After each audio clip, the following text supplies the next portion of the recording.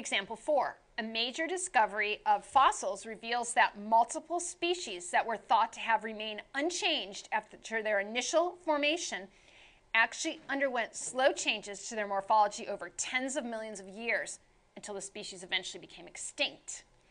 Does this provide support for the punctuated equilibrium theory of evolution or gradualism and why?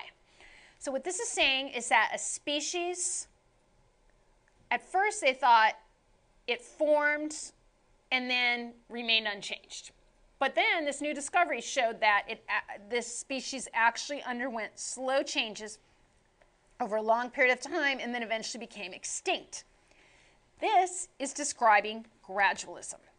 Gradualism describes evolution as a series of slow, steady changes throughout a species' existence. Uh, so the species forms and it may continue to evolve and evolve.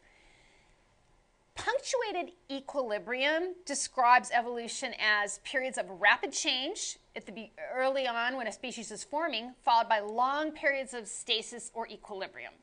And punctuated equilibrium is, is now uh, thought is like the predominant theory right now that, that is accepted and supported. But if this discovery were made, it would actually support gradualism.